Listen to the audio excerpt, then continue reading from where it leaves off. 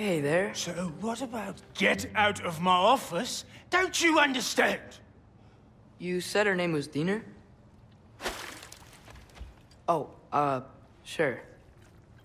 Thank you. I think. That head better not be leaking his decay all over my floor. I beg your pardon?